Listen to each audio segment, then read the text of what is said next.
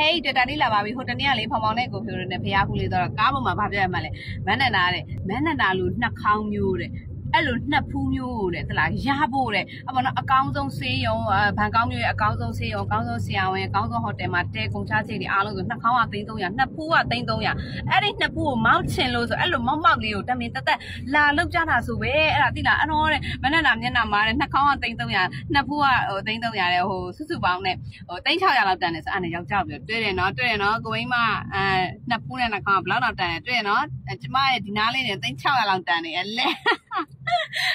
အဲ့လိုမျိုးပြောနေရှင်ကြကဲအဲ့တော့ဟုတ်ပါပြီနှစ်ဘူးနဲ့နှစ်ခေါင်းလေးကတော့တိန်း300 300 600တန်နဲ့ထားပါဒါပေမဲ့ဒီမျက်နှာအသားအရည်လေးကလည်းအဲ့ဒီတိန်း600တန်နဲ့ live ဖတ်တဲ့မျက်နှာအသားအရည်ဖြစ်ဖို့လိုသေးတာအဲလာပြီအဲ့ဒါမှကြော်ညာနော်အဲ့တော့မှ YAP မျက်နှာသေးဆက်ပြလေးနဲ့တက်သူကလေပြင်သစ်အီရန်နိုင်ငံရဲ့ကုန်ချမ်းနဲ့လှုပ်ထားတာထိုင်းနိုင်ငံအစစ်မြစ်ဆက်ယုံကြီးမှာထုတ်ထားတာဖြစ်တယ်နိုင်ငံသားကုန်ချမ်းတွေပေါ့နော်အရေးအသွေးကလေတက်ခဲကို12000ထက်လုံးဝမကပဲဒီမှာ3600တန်လေးနဲ့လိုက်ဖတ်မှုရှိကျင်တယ်